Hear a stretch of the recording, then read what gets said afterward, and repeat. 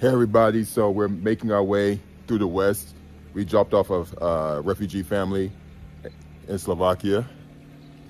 I'll tell you more about that later, but one the, there were places that um, everything is closed off, hotels and everything. So I had one of my Ukrainian contacts and we came back to my old stumping ground in Sasivka.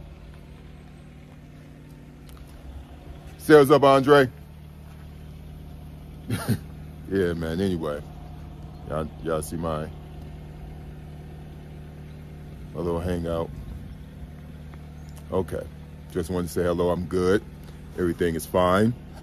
And Slava Ukraina, and good morning from the Carpathian Mountains. Everything is great.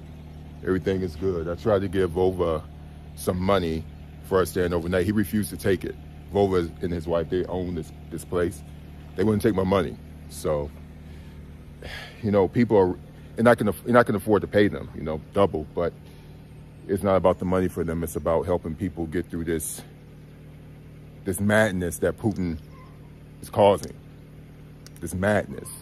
Everybody's coming together, man. I mean, it's a lot of chaos here. I'll talk about that too, but I mean, because I've seen some chaos. I've seen some things, unfortunately, that I don't like. But um, generally speaking, Ukrainians are coming together. They're helping people like Andre, everybody as we're trying to go through the country. But everything is good on my end, y'all. So, good morning. This is a Friday. I'm here. All right.